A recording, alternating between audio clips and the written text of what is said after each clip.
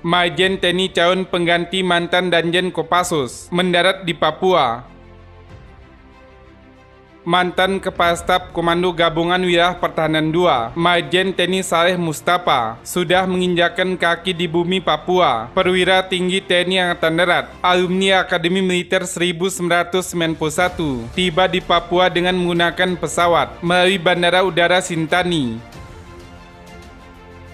Berdasarkan siaran resmi penerangan Kodam 17 Cendrawasih, Senin 22 Agustus 2022, Majen TNI Saleh Mustafa datang bersama istrinya di bandara Pangdam Cendrawasih Majen TNI Teguh Muji Angkasa dan istrinya serta pejabat Kodam sudah hadir untuk menyambut kedatangan calon Pangdam baru di bumi paling timur Indonesia itu.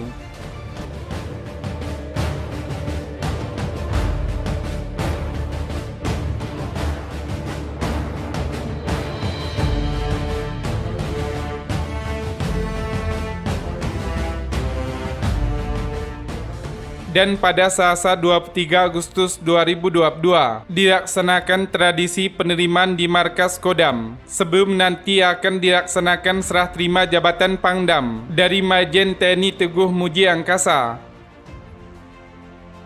untuk diketahui, Majen TNI Saleh Mustafa diamanahkan menjabat Panglima Kodam Cendrawasih menggantikan Majen TNI Teguh Muji karena mantan Komandan Jenderal Kopassus itu dipromosikan menjabat dan pusterat sebab dan pusterat yang lama Letjen TNI Teguh Harip Indrat Moko telah dipercaya menjabat Komandan Jenderal Akademi TNI menggantikan Letjen TNI Bakti Agus Pajari yang segera meninggalkan TNI karena pensiun.